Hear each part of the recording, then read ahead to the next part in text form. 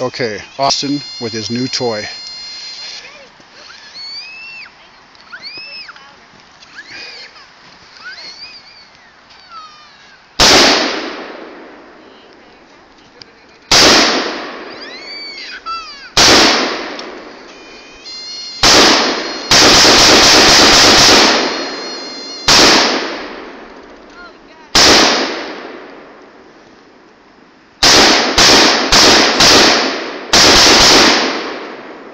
Jeez. That's got some kick to it.